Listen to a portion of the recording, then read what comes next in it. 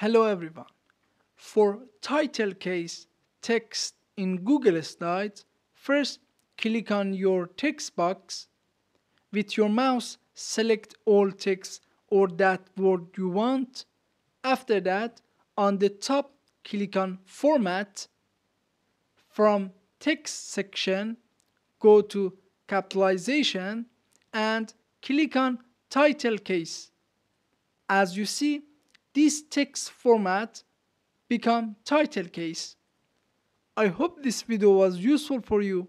Please subscribe to our channel for more videos. Thanks for watching.